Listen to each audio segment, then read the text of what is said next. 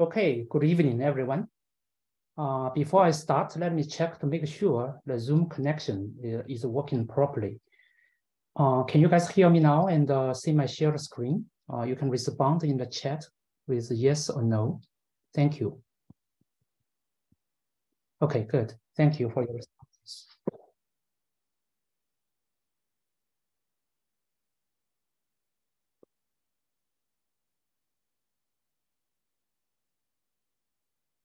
Okay, I think uh, I'm going to go ahead and uh, get started.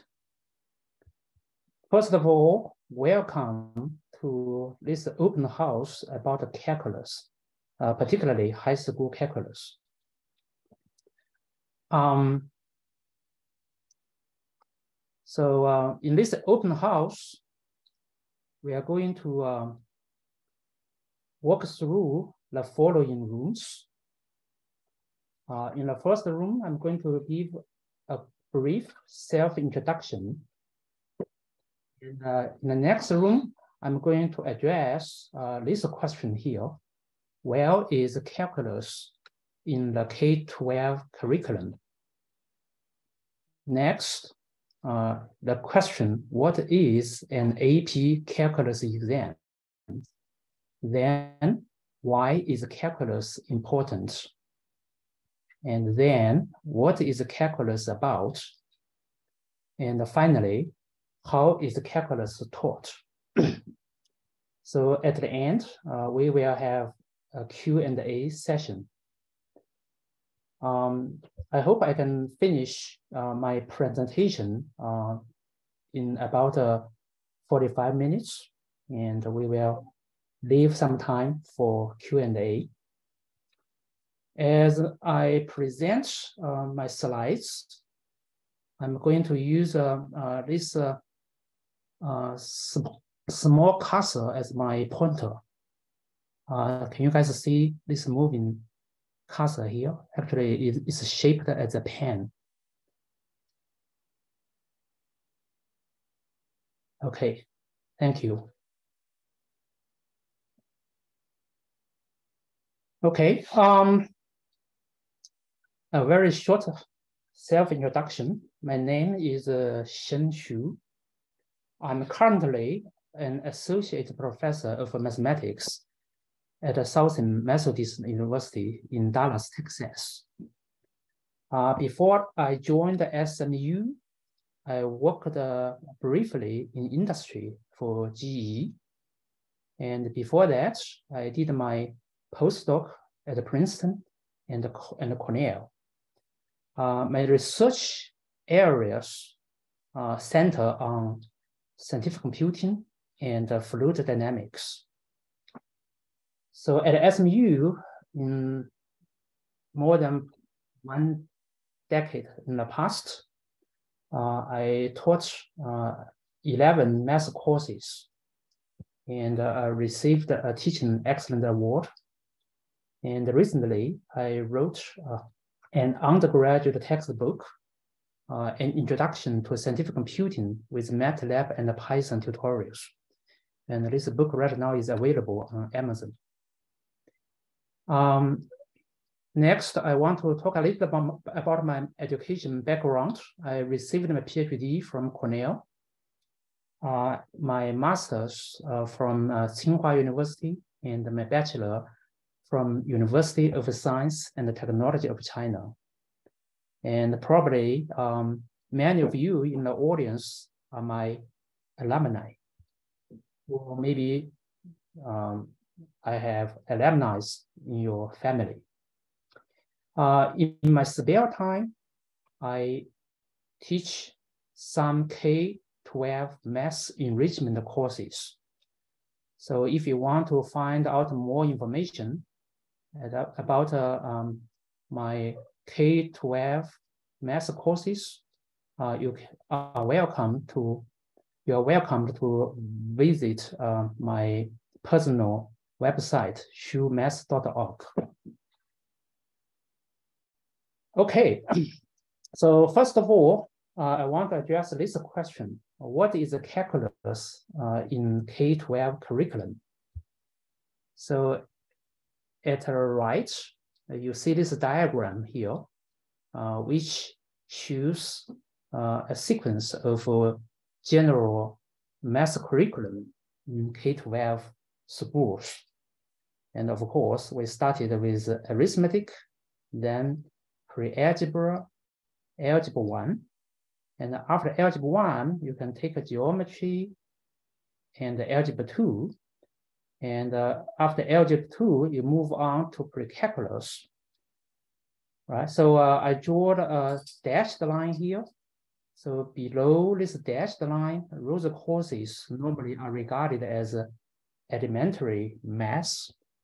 And above that line, so uh, we enter advanced math. So obviously, as you can see, right, calculus uh, follows pre-calculus. Um, so to to uh, to, uh, to clarify some uh, name confusion, so let me first uh, name names. And in high school, uh, the calculus sequence uh, is named AP Calculus AB and AP Calculus BC. Uh, in college, normally the calculus sequence is named as calculus 1 calculus 2 and uh, calculus 3. And um, so if we want to uh, see the correspondence uh, between high school calculus and the college calculus, and uh, AP calculus AB is equivalent to calculus 1 as shown uh, in this diagram here. And the AP calculus BC um, is a kind of equivalent to the combination of calculus one and calculus two.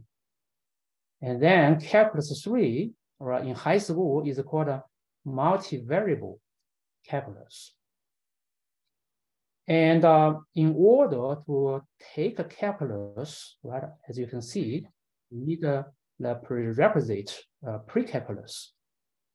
And after you finish uh, uh, AP calculus BC, uh, which includes Cal1 and Cal2, then you can move on to take a multivariable calculus, which is, is also offered in some high schools. And if you want, you can also take differential equations in colleges, uh, in a community college or maybe nearby a university uh, in your hometown. Okay, so um, so I already um, um, talked about uh, the calculus sequence. Um, as I already mentioned, right? So AP calculus BC actually includes AP calculus AB, which is equivalent to calculus one. So AP Calculus AB uh, covers uh, the following uh, main topics. Uh, I'm not going to read out these topics. And then, as I said, right, AP Calculus BC, right, uh, includes includes um, AP Calculus AB, right, right here as a part one. And then it has actual material uh, in part two, right? So, so here is a list of uh, the topics in uh, part two, actual uh, to AP Calculus AB. And uh, in college, right, I, I, already said, right? So, so uh, Calculus two, right, Calculus two um, is kind of like a, a actual stuff, okay, actual stuff in calculus BC, uh, plus uh, a few more extra contents, okay, extra contents. So when I teach uh, AP calculus AB or A uh, or A uh, when I teach AP calculus BC, right, I covers uh, the material required by the AP exam, AP calculus BC exam, and also I cover um, these actual contents so that actually uh, you get a, a, the full coverage of uh, calculus 2 in college. Yeah. Now, next, so I want to talk a little bit about uh, AP calculus exams. So first of all, right, um, what does this abbreviation AP uh, mean? Uh, AP is the abbreviation of advanced placement. So it's a program in the US and Canada created by the college board. Okay, so you can take AP courses in high schools and um, um, those AP courses uh, normally have grade points. So for example, uh, I live in Plano. So in Plano uh, district, uh, uh, independent district, uh, school district, AP course, five grade points. And an honor course has a 4.5 grade points. And the regular course has a four points. And you take AP courses, and then you can um, you can take AP exams provided by college board. So you get the preparation for AP exams. So what uh, is an AP uh, exam? So an AP exam is an undergraduate level exam uh, provided to high school students administered by the college board. So, um, so the score has uh, one to five scale, scale right? Five is like extremely well qualified, and four is well qualified, and three qualified, and so on and so forth. So, um, so if you pass, I mean, I need to put a post uh, on pass, right? So different universities have different uh, criteria. So, so you may get a university course credits. For example, at my university, so if you get a four or five, then you get a calculus one credit. But different universities have different policies.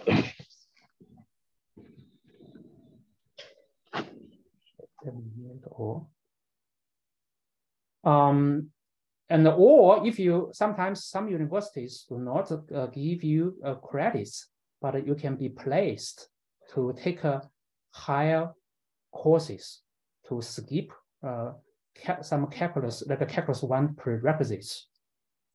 So if you want to get more information about the AP calculus AB or BC exams, right, you can visit a college board uh, website.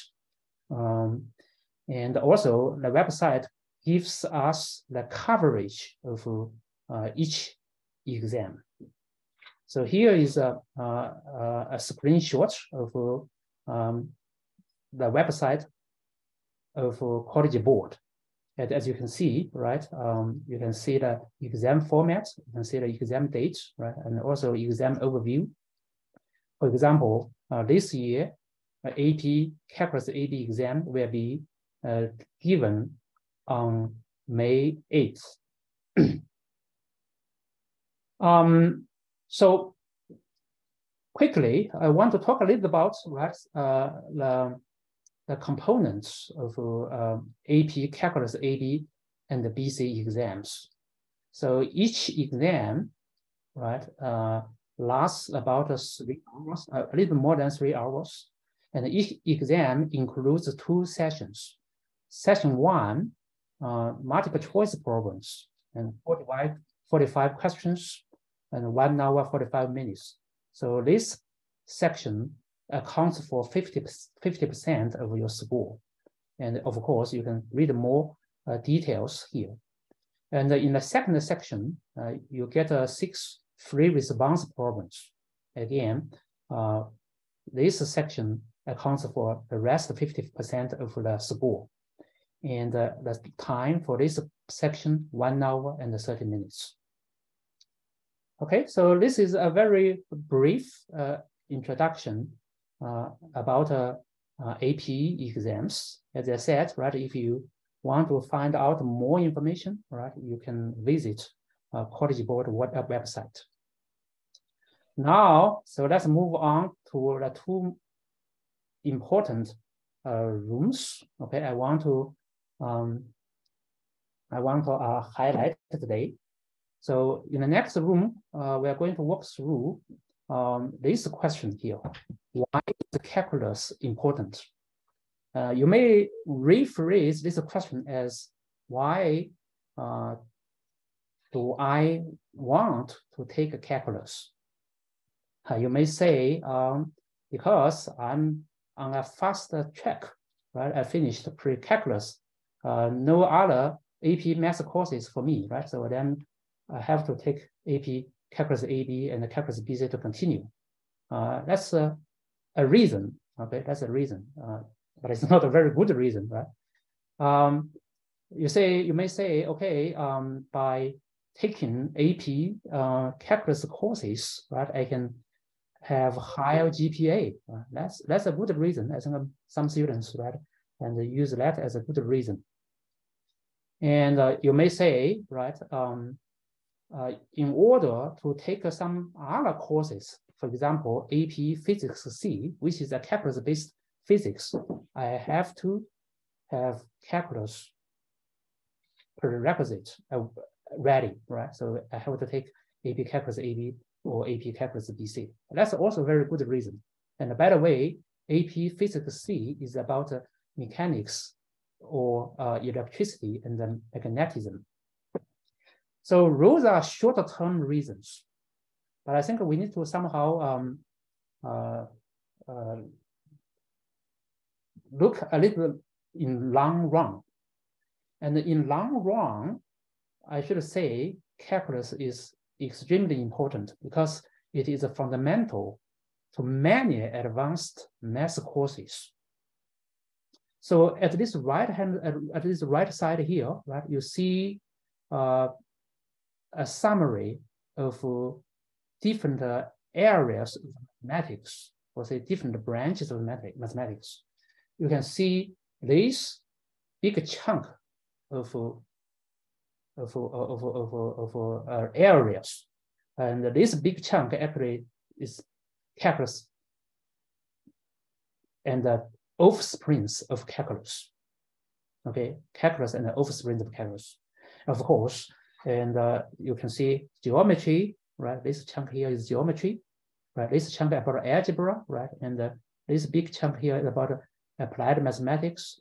And uh, this is, is a very crude way, right, to to uh, to, to to to distinguish uh, different areas of mathematics. But actually, as you as you can imagine, right, all these branches and all these areas they are also connected. For example, when you do applied mathematics, of course, you need algebra, you need geometry, you need uh, uh, calculus, right? And also um, in college, right, if you want to pursue a STEM major, and calculus is fundamental to STEM majors.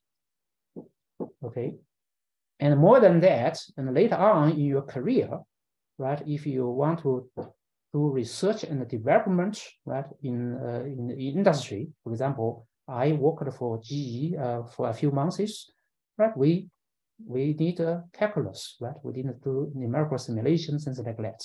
So uh, calculus is fundamental to research and development uh, in STEM areas in your career. Um, so let me uh, let me uh, uh, end this session here with uh, this quote from uh, Feynman, uh, Feynman, Richard Feynman. once Richard Feynman said to um, novelist uh, Herman Wouk, and he said, "You had better learn it. It means uh, refers to calculus. You had better learn it. It is the language God talks." And uh, we know uh, Richard Feynman uh, is a very famous physicist, right, and a, a Nobel Prize physicist. Um, in if we we we we uh, we we, we, we look at the human history and we can say, uh, this is, I think is, is a strong, uh, this is a strong claim here. We can say uh, calculus has revolutionized uh, our civilization. And without a calculus, we do not have our space exploration. We cannot send our um, explorers to Mars. Uh, without calculus, we don't have radios, we don't have wireless communication, we don't have our modern weather forecast, and the list uh, can go on and on. I'm not saying that calculus is the sole distribution uh, contribution to those te technologies, but uh, calculus has played um, a crucial a crucial uh, uh, role right in the development of those uh, technologies. So for example, when we do the space exploration, right, we use Newton's laws for motions, right? So you see this equation here, right? You see differentiation. And actually, and we know Newton, right, was driven by physics to uh, invent calculus. And uh, in this right diagram here, right, you see, um, you see a set of equations. And some people regard those equations as the most beautiful equations uh, in mathematics. And, uh, and God said those equations, and then there was light. And those equations are called Maxwell's equations. And those equations govern uh, the behavior of electromagnetic magnetic waves and study those waves. And uh, at this uh, lower left corner, right, you see uh, these, these equations. These equation, equations are called Navier-Stokes equations. And those equations can describe the motion of atmosphere, ocean, and uh, airflow around the aircraft. Right? And actually, my research area uh, is related to uh, this set uh, this set of equations. So my point here is right if in a wrong run and the calculus is still um, making uh, very important contributions to the development of science and technology. So it is uh, a very important subject. And uh, by the way, right, so uh, in college, right, later on after calculus, you are going to take uh, many, many calculus-based courses like ODE, real analysis, complex analysis, the PDE, calculus of variations, differential geometry, and so on and so forth. And some people even claim, right, you can name those courses at the calculus four, calculus five, calculus six. And of course, that's not a good way to name those courses. So of course, we have specialized names for those courses. And those courses are all calculus based. Next, so what is calculus? So what is calculus about? So um, I want to give a very gentle introduction about some um, essential uh, ideas uh, underlying calculus. So before I do so, I want to uh, uh, give you guys a little bit about calculus. And first of all, many people claim that Newton and Leibniz uh, invented calculus. Um, that's, that's really an oversimplification. Right? In our human history, right, many great um, thinkers, great scientists, great mathematicians um, made the contributions to uh, calculus. Of course, Newton and Leibniz made the uh, systematic uh, contribution to make the calculus uh, rigorous subject. And actually, in ancient time, right, like in Greece, like more than um, uh, 2,000 years ago, Archimedes, right, uh, and Zeno of uh, Elea, right, they already had some kind of ideas um, um, lead, lead to uh, calculus, okay? And actually in China, uh, about, about, the, about the same time as Archimedes. Let me mute. Okay. Right, and um, and uh, and also um, uh, Liu Hui, uh, this Chinese mathematician uh, Liu Hui, right? He uh, uh, calculated uh, the value of pi uh, using a method similar to Archimedes' method. is uh, called the method of exhaustion. And this method can be uh, was used by them to compute the pi and the area of a circle. But actually, this left portrait here is a portrait of Archimedes, and the right one for Liu Hui. Right? I think uh, I'm not going to to explain the details because I'm going to give you a little more uh, uh, uh detailed uh, uh, introduction of the ideas of calculus later. And in modern area, right, in modern era, so before Newton and Leibniz, many precursors, right, made contributions, right? For example, Kepler, Cavalieri, Cavalieri, right? Barrow, Barrow actually was Newton's mentor. Uh, Fermat, Pascal, Wallis, Rolle, um, and Gregory. So they made uh, contributions, or say, to calculus. Uh, some for the development of integral calculus, some for differentiation calculus, and some for the fundamental theorem of calculus. And of course, right, the groundbreaking work was done by Newton and Leibniz independently. And Newton uh, proposed the so-called fluxional calculus, and Leibniz uh, proposed the so-called infinitesimal, or say analytical uh, calculus. And nowadays, uh, in calculus, we use notations uh, uh, developed by Leibniz. And later on, and um, Cauchy, Riemann, and Weierstrass, stress they made calculus rigorous on a very uh, rigorous uh, uh, foundation. So if you look at this time history here, right? So I only showed the modern mathematicians who made contributions to calculus. Now, so what are essential ideas um, behind the calculus? So first of all, I think uh, you can think like a calculus. Uh, one big idea is called a slicing and accumulation, or say accumulation. So basically is uh, divide and conquer all the way to infinity, or say all the way to infinitesimal. So I, be, I believe many of you uh, have experience to slice a potato, right? And when you have a very, very irregular potato, it's hard to find the volume of this potato, right? The amount of potato here.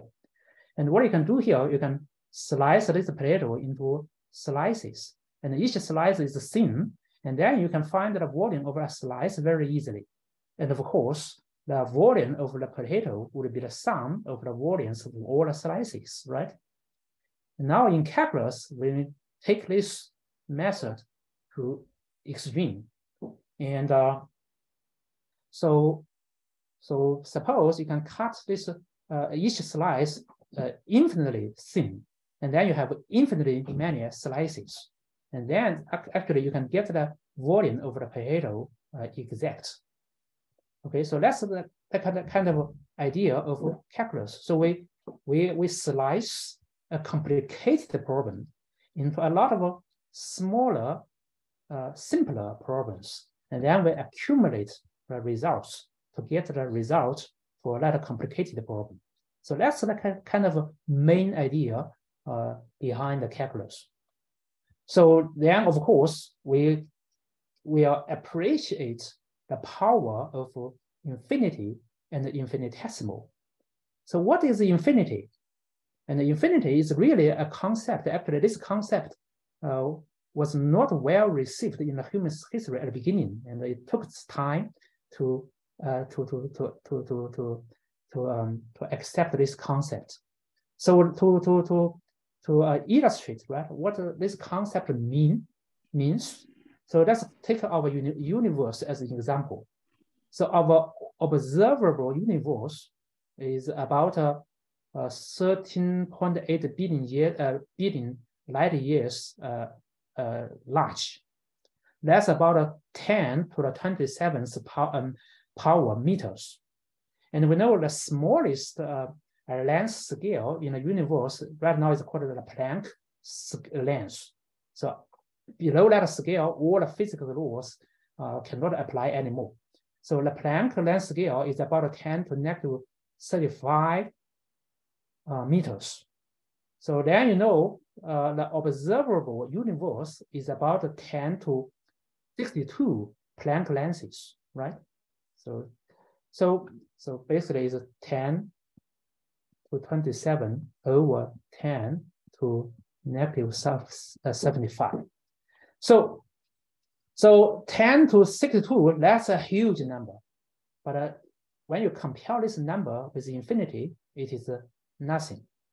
Right? So infinity can, is larger than any number you can, you, can, you can think of. Okay, so that's the concept of infinity. But what is infinitesimal? Infinitesimal is like infinitely small. So it normally denoted as epsilon here.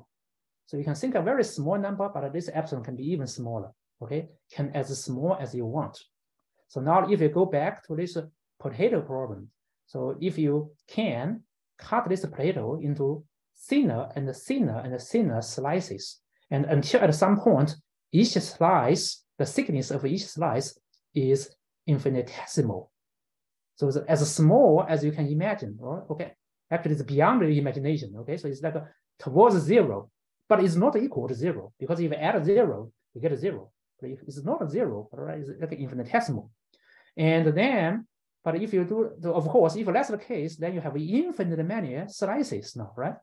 And so then you can somehow find the volume of this potato by accumulating infinite many infinitesimal slices.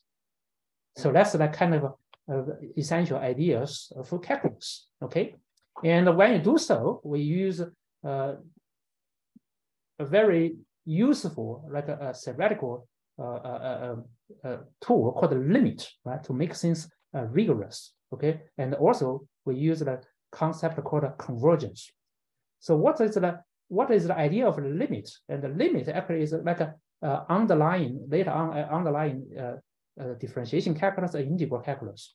So limit, so to, to, to, to understand the limit, the concept limit, for example, when you do one over x, for example, you can think this potato, the length of this potato is one, right? So you cut into x pieces, right? So then the, uh, x uh, equal, uh, pieces with equal uh, thickness. So if this x, so then one over x would be the thickness of each piece, right? So, so if this x is approaching infinity, then 1 over x approaches zero. So this 1 over x can be actually close to zero if x is sufficiently large, right? You can get that idea, right? So let's so then we claim the limit of 1 over x as x approaches infinity is equal to zero. So that's the concept of the limit, which is also very important to develop uh, integration and the differentiation calculus. I'm going to explain later. And also another concept is called convergence. Right? For example, if you consider 0 0.999 with infinite many nines, right, following this decimal point, then actually this number actually converges to one. So in mathematics, we don't distinguish these two guys. Okay, so illustrate this idea, for example, if you consider this square here, right, the area of this square uh, is one because the side length is one, right? So what you can do here, if you add one half, one fourth, one eighth, and, uh, and so on and so forth, you add this, uh, this uh, infinite many numbers, is called, this uh, summation is called uh, an infinite geometric uh, series. And then it, you get one.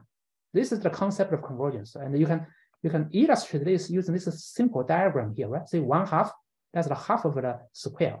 One over four, then is you add this corner here, then you get this part here. And one eighth, you add this part, one over 16, you add this part, you keep adding, adding, adding. Then eventually you can somehow converge to the whole square. So this summation is equal to one. So that's another very important uh, idea uh, in, in calculus. So in summary, so in calculus, we use slicing and accumulating, basically divide and conquer all the way to infinity and infinitesimal. And then we need to appreciate the power of infinity and infinitesimal. And finally, we have the ideas of limit and the convergence.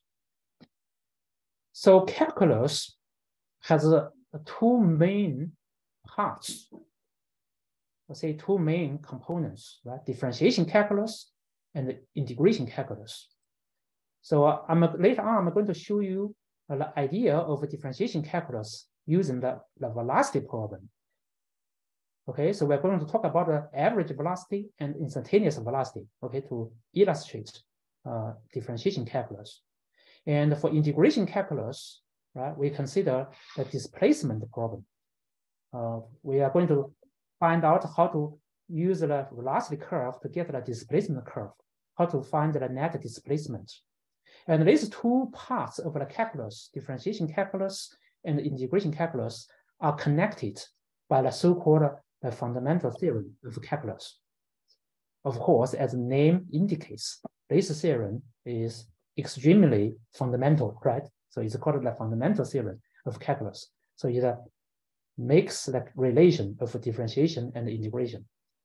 So next, I'm going to uh, explain, right, uh, the basic ideas of differentiation calculus and integration calculus using this example here. So um, uh, in 2008, uh, uh, the Summer Olympic was held in Beijing, uh, Beijing, China. And uh, you guys see this picture here, right? this guy here, his name is called uh, Usain Bolt. And uh, he finished, uh, he, he is a, a Jamaican uh, sprinter, okay, sprinter. And he finished, he finished uh, the 100 meter uh, race in 9.69 seconds and won the golden medal. And uh, so at the right hand side, right, you see two curves. Uh, the first curve above uh, tells us the position of uh, the runner, right, Usain Bolt at a different moment, right? Actually, you can use a running camera to capture, right, his position at any time instant, okay? So a camera follows him and uh, records and get this curve here. So this curve tells us the distance he ran after a particular period of time in seconds. Okay, of course, right, at a nine six nine second mark, he finishes 100 meters. And uh, the lower figure uh, shows um, the runner's instantaneous velocity at a particular moment. So get this kind of curve. Okay.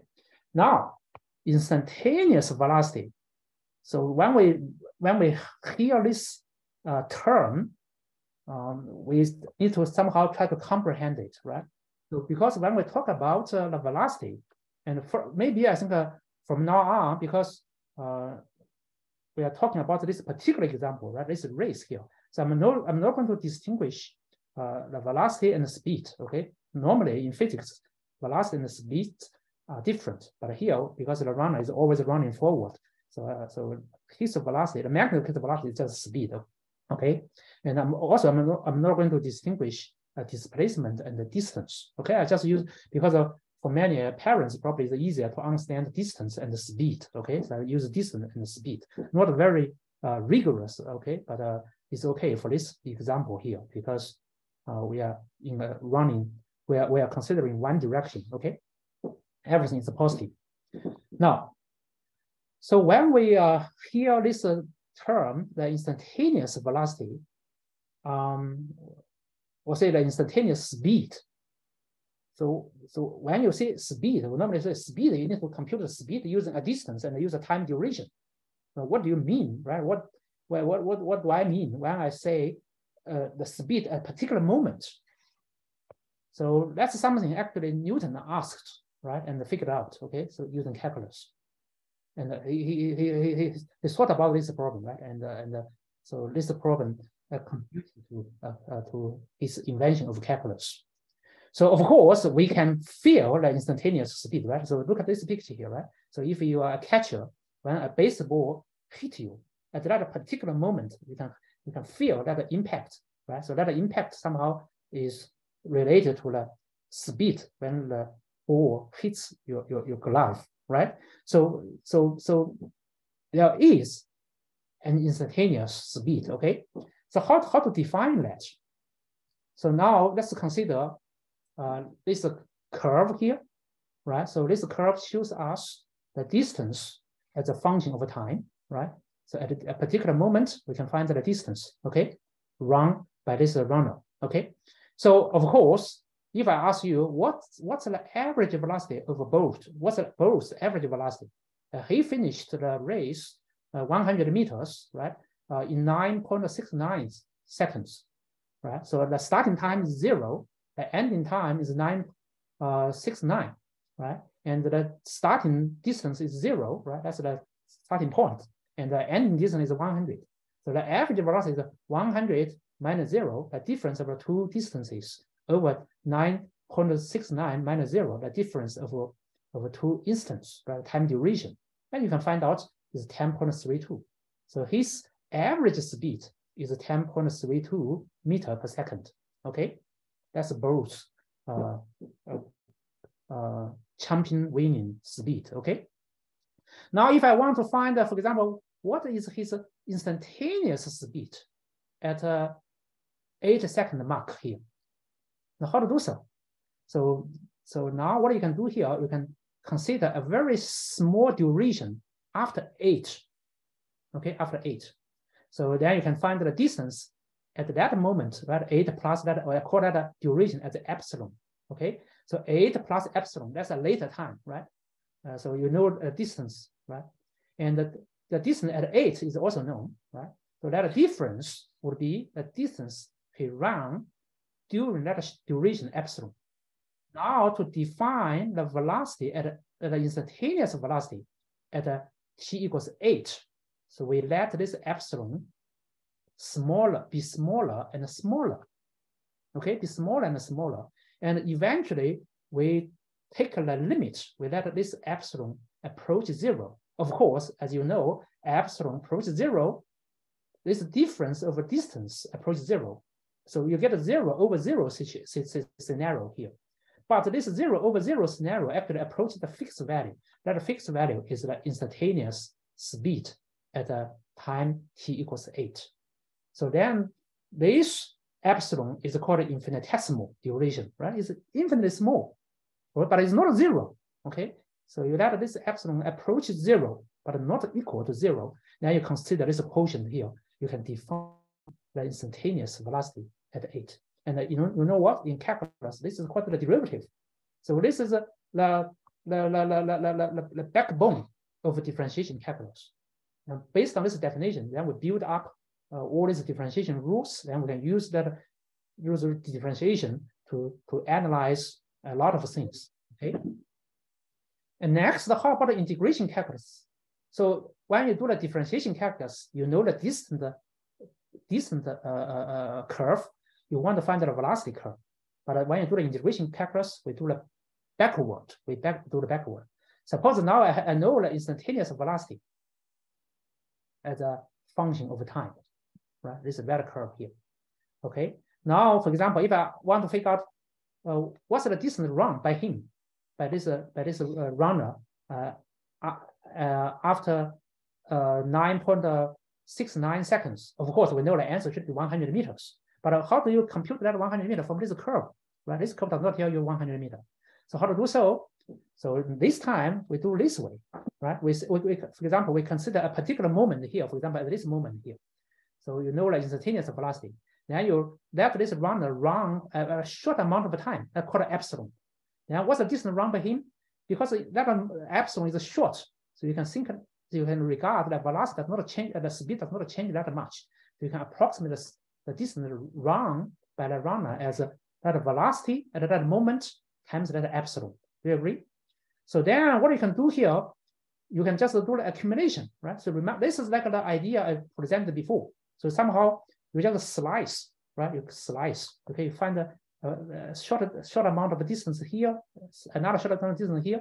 Somehow you, you slice this, this region here into a lot of this, this kind of rectangular strips, right? Just like a potato slice. And each strip is the distance run in a very short amount of duration, right? Using that uh, starting initial speed, okay, uh, for, for, for that strip. Then you, what you can do if to find the total distance run by this runner, because the speed is not a constant now, right? So what you can do here is just add the uh, all these uh, small distances, okay, run by this runner. So you do the accumulation. So this is notation for called sigma is called accumulation. Then you do the accumulation, and uh, eventually you take another kind of extreme. You let this epsilon approach zero. So basically you you you you you you you you la, la, la, la, you, you, it, it turns out the, the, the distance run by this runner would be the area of this curve. So basically you, you, you, you, you slice this area into a lot of small strips. Now you let each the, the, the width of each strip shrink toward zero, and you have infinite many strips. And eventually you get the, the total distance, or say the uh, area under this curve. And if you, so that's the net uh, displacement problem. So this part here is called integration calculus. It's called definite integral in, in calculus. And now if you want to get the, suppose I have this uh, velocity curve, I want to get this uh, displacement curve. How to do so? So what I can do here is here I, I find the, uh, the, the, the, the, the, the, distance run after 9.69. So my ending point here is here, right? You want to do the slicing for this. But now I can move this ending point at a different location, right? At this location, this location, you change this one. So then you get a different, at a different moment, right after different duration, you can get a different distance here. You can recover this, this distant curve. So this is called an indefinite integral. So basically you, you use the velocity function, you can get the displacement function. So and these two parts obviously are closely related. Okay. And this idea, as I said, right, in human history, right, is not totally new, right? So in ancient time, Archimedes, right, considered the area of, of a circle. How to find the area of a circle? Because the boundary is a, is a, is a curve, it's not straight. So what Archimedes did was to divide this circle, right? Just you can think of this like a pizza. You cut this pizza into these slices. And you, you have, you, as you can in this picture here, right? Each, uh, so all the slices are equal, okay, are equal. So then you see, I, I, I, I use different colors, right? So use a, uh, this uh, uh, green color and this uh, um, uh, cyan color, right? So now you can put the green color pieces right below and the cyan color pieces above. Somehow you get this kind of a shape here. And it turns out if you cut this more and more and more and more, right? So until at some point, so um, you have infinitely many pieces. Then this shape here, this right shape here actually uh, becomes a rectangle, and the height would be the radius, and the, the, the, the base would be just the half of the circumference. So then you get the formula for the area of a circle, right? So it's pi r times r, so the pi r squared. So that's the way uh, the area of a circle was derived. derived. And obviously you can see, so this derivation already had the idea of integration calculus. Okay, so it's like an accumulation, slicing and accumulation. Okay, so uh, of course, I spent quite some time on these two questions, right? Why uh, is calculus important and what is calculus about, right? I think uh, um, uh, when we study calculus, we need to have a, a long run view, okay? We a long run view, not just for GPA. Right? GPA is important, but and uh, in, in, the longer future, right? I think it's a very important course for us. So I want you to have a very solid foundation. Now, how is the calculus taught by me? I, am only talking about my personal uh, take about uh, teaching calculus, okay? And uh, so if you go to my website, right, you can read my uh, teaching mission statement here, right? Understand, solve, inspire, connect, and explore. So we teach school math at the elevated level with breadth, depth, and rigor. We strive to deepen understanding of math concepts and ideas and sharpen problem-solving skills. we inspire students with background and application. We teach derivations and proofs to show why. We solve representative problems of various types and difficulty levels to demonstrate how. We connect dots to reveal big pictures and encourage students to explore. So that's my kind of teaching uh, in, uh, vision here. So, so when teaching calculus, I think uh, I, I think I emphasize these three, uh, three uh, uh, points. Okay, first of all, making sense. Okay, when you as you learn calculus, sometimes you see calculus books like, like big bricks. Okay, thousands of pages. Okay, a lot of jargons to be defined, a lot of ideas to be understood, and a lot of theorems to, to be uh, to be proved. Okay, we need when you learn the material, we cannot just uh, get a bunch of formulas and apply formulas to solve problems. We need to make sense of, of calculus. Okay, we need to understand the ideas. Right? Let me quote uh, uh, uh, a remark by William Paul Thurston, uh, a very famous American mathematician. Uh, he once said, mathematics is not about numbers, equations, computations, or algorithms. It is about understanding. Okay, but in this calculus course, uh, we need to sacrifice some uh, rigor because to make a calculus rigorous, okay, that's something. For example, if you look at the history here, right, made by Cauchy, Riemann after Newton and Leibniz, and later on you need to in college you, you, can, you can take a, a course called anal real analysis. So that course is about proofs, more about proofs about rigorous calculus. But still, even though we, we, we, we, we emphasize less proofs, but still we need to at least understand the ideas, right? Make sense of uh, rules and things like that. So that's one thing, okay? That's one point I want to emphasize in my teaching. Then of course, right, we need to know how to solve problems, right? We need to master uh, techniques. So in calculus, you're going to have a lot of techniques. You have many differentiation techniques, many rules, and you have a lot of integration techniques, and you have techniques about a series, right? So, so you can use all these techniques to solve a problem. So for this point here, I want to uh, quote Andrew Wiles' uh, uh, uh remark here, right? He proved uh, Fermat's uh, last series, right? Just because we can't find a solution, it doesn't mean there isn't one, okay? So, so we need to learn all these techniques to tackle problems. And finally, right, if you read uh, AP exams, right, you know there are many uh, free response problems about uh, real life applications. So you learn all these techniques, then you can also apply them to solve some real life problems. Okay, and uh, you can use a calculus to analyze the behavior of functions. Right, you can you can you can uh, uh, understand them, uh, analyze the motions, right? understand the rates, and you can compute areas, volumes, and the lengths of various geometric objects. Okay, and finally, I want to uh, quote this uh, remark here. I've always been interested in using mathematics to make the world work better. So this uh, was by Alvin Roth. Okay. And um, now a little bit about a uh, little bit about a, uh, real practice about teaching here. As I said, right, when I teach, for example, when I teach AP Calculus BC, right? Uh, AP Calculus BC includes um, includes AP Calculus AB, but has some extra uh, uh, stuff. Okay, but I don't uh, just cover those extra stuff. I add more, right? Because I think in college, in college, right? You can if you just take AP Calculus BC, probably cannot pass Calculus two in college. And in, in college, Calculus two has more uh, material. For example, about the trigonometric integrals, trigonometric substitutions, and general partial fractions, things like that. So uh, when I teach calculus BC, uh, part two, right? So I include uh, the, the contents required by the AP calculus BC exam, as well as the content required by, by, by college calculus.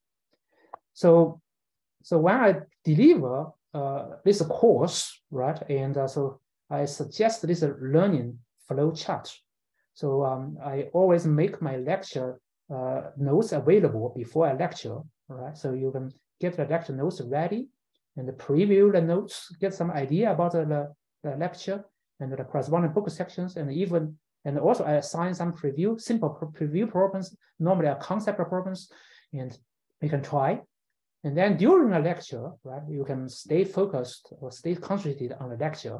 And uh, and now and then I, I, I pose some poll questions and you can answer those questions and you can add some notes and ask questions in the lecture.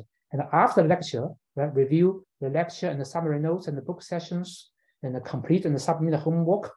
And uh, and uh, then you can uh, watch the uh, recitation video about the homework. And after that, you can uh, correct your homework mistakes. So hopefully by following this uh, kind of a guideline, right, you can learn calculus on a very strong foundation. And uh, that's uh, all of my presentation. And it's a little bit longer than I thought, but, uh, uh but it's within one hour. So finally, um, I am ready to answer any of your questions. And uh, thank you for joining in today. And um, thank you for your time and interest. And if you have any questions, uh, you can um, you can ask in the chat. And if you don't mind, you can also turn on your microphone and just uh, uh, just uh, tell me your question. I will try my best. Okay. So the summer session. So okay, so that's a very good question. So the summer session will cover both part one and part two. So in the summer uh, in the summer session, I will teach two uh, separate courses.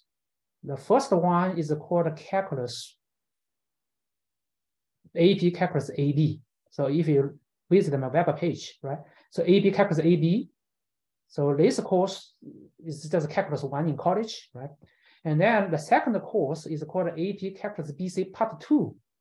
So for this course, you need to, in order to take this course, you need to have already finished Cap, AP Calculus AB. So I'm not going to, uh, I'm not going to uh, to, to cover uh, the material in AP Calculus AB in this uh, BC Part Two course. I only cover the actual material, actual to AP Calculus AB. Uh, how about the pre-calculus? uh, precalculus is the prerequisite of uh, calculus AB.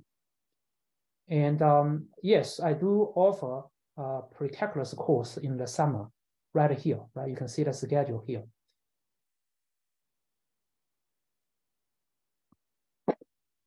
Um, how is IB math compared to AP calculus? Uh, IB Math, I'm not quite familiar with that. I think it's a different kind of a curriculum. Uh, it's a different kind of a, a math system here. Uh, it's like integrating math. If that's the case, I think uh, IB Math is more or less like a, um, each each each each course is like a, a mixture of different kind of math areas.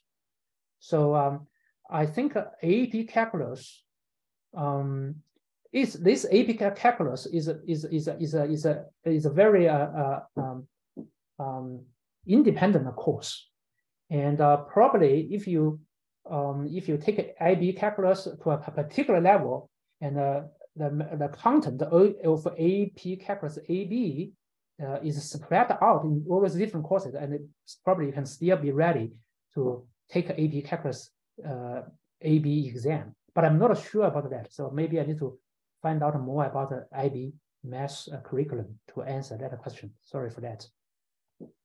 So can you take both AB and BC in summer? No, um, because as I said, right, so in the summer, I only provide AP calculus BC part two. So the part one of AP calculus BC is just AP calculus AB, right? If you go back to my presentation, you can see this sequence here. You can see this sequence here right? Right here. So AP calculus AB is like a calculus one, and AP calculus BC actually is, is a longer bar, right? The curve it includes AP calculus AB and some extra stuff, which is called Calculus 2 in college. So in my summer, I only teach Calculus 2, which is a part two of AP Calculus BC. So part one is AB, AP Calculus AB. Okay. Um, timing is an issue. My son will take BC in fall. If take your class, he can only finish AB in the summer. That's right. Yeah, because uh, in the summer, I uh, provide these two courses simultaneously. It's not in a sequential manner. So, so your son can only take AP calculus AB. But in four, we, we, we can pro, so so I think that if you if your son right, uh, is going to take a, a, a in in in four, um, and the, in the fourth semester probably uh, it just covers uh, the, the school uh, course will only cover uh, calculus uh, AP calculus AB. So then you can take uh, the second part, uh, BC part two in four with me, then which is the, the second part of extra stuff. Then in the spring semester next year, then he he has finished everything, and then he also takes the second part. Is that timing good to you? If student, if students uh, finish the AP Calculus AB in summer, is there any AP Calculus BC available in the fall? Yes, I think uh, we are going to provide AP Calculus BC Part 2 uh, in, in the fall, as I already answered uh, uh, uh, just now. So that way, um, so you, get, you, you get this continuation, right? this sequence ready. Yeah is a multivariable calculus much more difficult than calculus BC. Um, multivariable calculus,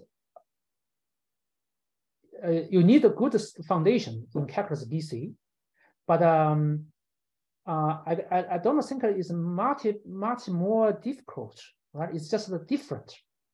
Uh, so for example, in multivariable calculus, uh, uh um, we we cover we cover uh, a function of multivariables. We do the differentiation and the integration of functions of multivariables, and we consider the so-called volume problems a lot. And uh, in, I don't know in high school if multivariable calculus includes a vector calculus, that was a, a very important series. And uh, and uh, probably some people think uh, multivariables is a little harder, right? And because it, it, sometimes you need to have a very good 3D visualization of functions to do many uh, like uh, uh, application problems.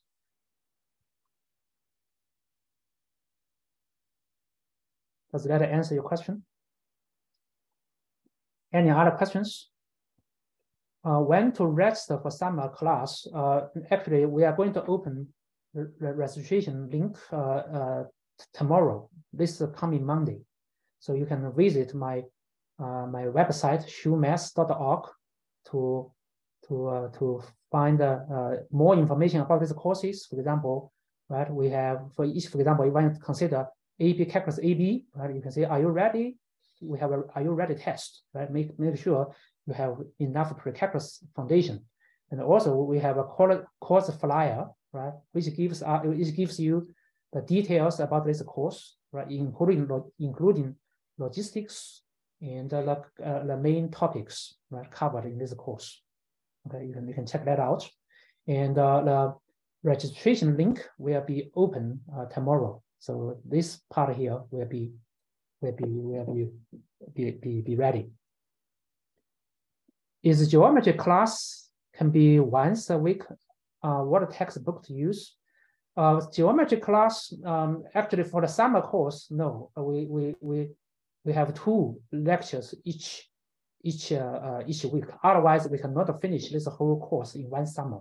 So a summer course is a fast-paced course. So you need to make sure if you register for this course, you need to make sure your your your, your child uh, has the commitment. Yeah.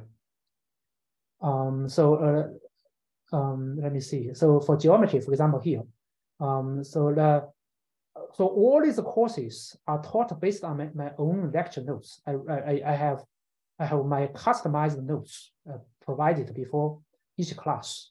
but we do have uh, required a textbook. the main purpose of the textbook is to assign homework. So uh, for for geometry, you can find the textbook's information right here. Right. So uh, Ron Larson, uh, McDougal, Littell Geometry, 10th edition. And also, I think that this one, uh, the art of problem solving, AOPS, Introduction to Geometry, and uh, sometimes I also assign some challenging problems from this book. So it's a good book, and so it's good to have this one. And the, the second one is kind of, uh, because the, the older version is not that expensive, about if you buy a uh, used one, 10 or 10, 20 dollars, right? So, so, um, so that's a, a textbook information. Uh, do you have algebra 2? Yes, um, we provide algebra 1 and algebra 2 uh, in the in the uh, school year, not in the summer, because uh, algebra 1, algebra 2 uh, students are younger and they need more time. They, they may not well adapted to this high uh, fast-paced course in summer.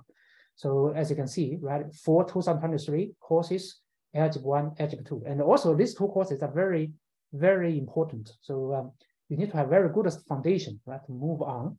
So that's why I split algebra 1 and algebra 2 two semesters. So in fourth semester, algebra 1 part 1, algebra 2 part 1. In the next spring semester, then algebra 1 part 2 and algebra 2 part 2, like that. So you get a one school year, one academic year to finish one course. Uh, what textbook you using for algebra 2? Uh, for algebra 2, um, um, let me see. I think uh, you can find some information if you click uh, courses, right? You can find the information about the algebra 2 courses here. I forget the name of the book. I think it's in the same. Yeah. If you look at my previous sample syllabus, um, so for algebra 2 uh, is this book here. So again, I use my own notes, but also use Ron Larson's um, McDougal Littell Algebra 2 first edition. Yeah. Fundamental homework problems uh, are from this book if the student is just going is just doing okay in pre-calculus, do you suggest to revisit the pre-calculus in summer or move ahead to start AB? Um, okay, um, depending on how you define okay, right? If if uh, he has or he or she has mastered uh, the majority of the material, I think uh, uh, he or she should move on to to to to take a calculus AB. But if if uh, when you say okay, somehow shaky, right? And and uh, and um, uh, a lot of uh, material is not a, really in, hand, right? So probably then it's a good idea to to revi re revisit the pre-calculus in the summer and to to to to get a stronger foundation, and uh, to see if your kid is ready or not right? Uh, you can you can uh, check out our website, and um, so uh, we have this. Um, so if you go to homepage, right, for Calculus AB, right, we have this "Are you ready?" test, and you can ask he, him, or, or, or her to um, to uh, to take this test, and we can evaluate and see if uh, to see the readiness. Yeah.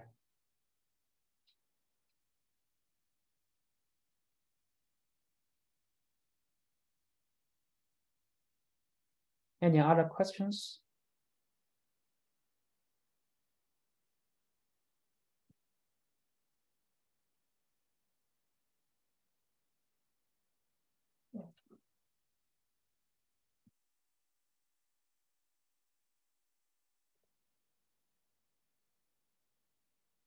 No other questions? Um, take Oh, okay, okay. Oh, sorry, I didn't read this part here. Yeah, okay. We can check. Um. Okay. Which textbook do you use for pre-calculus?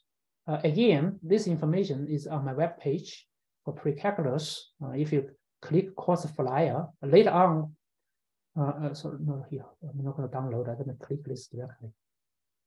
So so precalculus again, I use my own notes, right? So so as I said right before, so I so if you go to my, I can show you my canvas here. I use the canvas right to uh, deliver course material, and um, so you can get the idea right of my notes on canvas. Uh, oh, this is my university one, not, a, this one. Okay. So for example, right now I'm teaching uh, algebra two. So if you and algebra one, maybe algebra one is easier for you to see. Right. So for example, right now I'm in this unit here about the polynomials and the factoring. So before the class, before the 27th lecture, so you can see um, my lecture notes, right? I post lecture one, and this is my, so I, I use my customized notes here, right? About uh, 17, 18 pages, right? I organize my notes. So, so basically in the class, the students will focus on understanding the material and, and, uh, uh, and doing some simple practices, right? Those are poll questions and uh, so they are they will not be busy in, in, taking notes, but of course they they, they can add uh, extra notes, right? So, but the majority of the notes um, is available, right, in in, the, in, the, in, this one. Now, in terms of the textbook, um, um, this is also uh, in, the, in the course flyer. Uh, so uh, you can see here. So then we use this, again, this is the same series. It's called Ron Larson, Precalculus with Limits, a graphing approach, a fourth edition, this one. And some other books are just for references, and you don't have to buy them. Yeah. But if you have them, you can read them. Okay. Um, oh, okay, she is getting B, as I said, right? So if that's the case, uh, if that's the case, um, um, you can ask her to uh, to complete this Are You Ready test for cap AP Calculus AB and uh, send the test to us, and we can see if she is ready for AP Calculus AB, right? If if she's she, she did she, she if she uh, does well enough, right, and probably it's not a good idea to keep her right in the same course, right, and it's kind of uh, boring sometimes, and so so if if if uh, she doesn't do very well, right, then it's too challenging for her. Then probably she needs to she needs she needs to uh, to to to review precalculus more. Yeah. Um, can you send today's meeting to us? I think we can uh, post uh, the video links uh, in our uh, WeChat WeChat groups. Uh, we have this uh, WeChat group. I think you guys have already joined this group, right? So you should be able to to to to to, to check uh, the videos over there. Yeah. Okay. Oh, more here. Should I take this class if I only took regular calculus in school? When you say you take a regular calculus, um, I don't know, is it like a regular calculus AB or regular calculus BC? Um, if you if you already took a calculus a, B in school, then you can continue to take up my summer uh, AP Calculus BC Part 2 course. But if in your school you you you, you took uh, uh, BC already, then probably um, you just need to uh, review the material or maybe move on to take a multi-variable calculus. So it depends on depends on what uh, contents uh, has been covered in your school, regular school calculus. If you want to uh, want me to check for, for you, uh, you can later on, you can contact us privately and uh, email us or send us uh, in chat, uh, in, uh, in WeChat, the, the, the, the syllabus, and then we can decide. I want to show it to my daughter. Sure, yeah do you have a multiple variable calculus course in some? No, I, I don't I don't uh, uh, offer multiple variable calculus for now. Yeah, maybe in the future, because I teach all these courses by myself. Uh, I cannot handle too many courses. Will that be too much to enroll both precalculus and calculus AB? that's probably that's not a good idea. Yeah. Um, um, because precalculus is the prerequisite of calculus AB, right? So uh, if if uh, precalculus is not strong enough, um, you, sh you should stay in precalculus. And if your precalculus is strong enough, then you should move on to calculus AB, right? And of course, maybe if, uh, maybe the kid, uh, maybe she well, for, for forgets some material in precalculus, but uh, she can she can uh, uh, pick up pick up uh, the material as uh, she move as she takes calculus AB. Meanwhile, so probably that's a good, a better arrangement. Yeah. Is it okay that the kid watches the lecture video after the lecture because she will be out of country? We don't recommend so because um, uh, if uh, if your kid is uh, very self-disciplined and um, and and has has a good time management, and uh, this can be an option. Otherwise, we don't recommend so because uh, I think it's a good idea to uh, to to to to uh, to synchro uh, to be synchronized with our our schedule. you can you can uh, you can uh, you can uh, you can contact with us for more details in this situation here, and we, we can figure out a, a solution. Will you post every lecture on Canvas, or the student has to request? The students have to request. Uh, I don't post every lecture on Canvas because um, one is for copyright issue. Another thing, um, if a student knows the lecture notes, the lecture videos is available anyway, probably sometimes they, the, the, uh, she, uh, he or she cannot concentrate very well in the class. So unless uh, because of a, a, conflict with some other activities, he has to, she or he has to miss a class, then he or she can request a video. Does the student need to complete the geometry before Algebra 2? Um, no. Uh, of course, it's good to have some geometry uh, background, but uh, I think I don't think uh, geometry is uh, like a prerequisite for Algebra 2.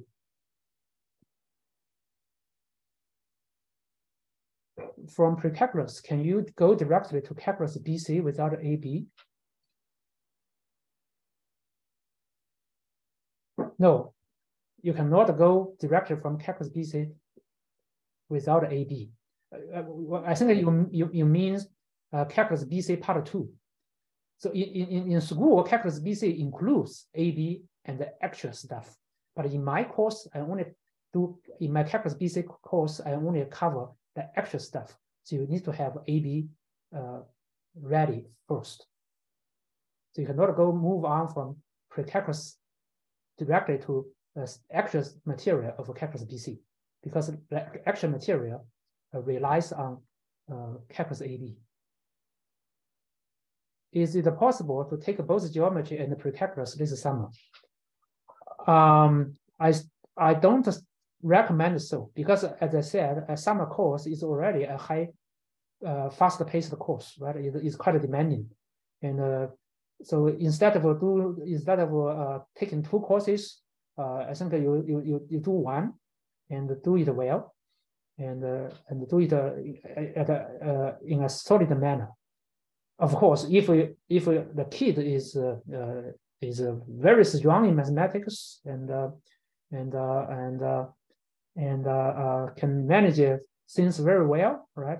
And work very hard, and that's possible. But I, but I don't recommend that, especially for for young kids, right? I think that they need to have some some room to and and and and uh, space to breathe. Yeah. Does the student need to complete geometry before go to algebra two? That's the same question, right? And uh, um, I think that uh, geometry is a plus, but it's uh, it's not a, a, a, a. Yeah. Normally, I think in, normally is uh, you, you would like to go this sequence, right? Geometry then algebra two, Yeah.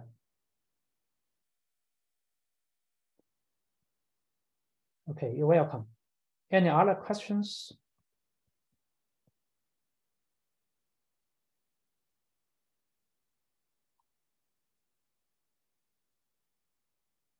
Okay, thank you. Thank you for your interest and for your time. And um, don't forget to uh, visit our website to find out more information. And uh, if you have any further questions, uh, just uh, contact with us privately.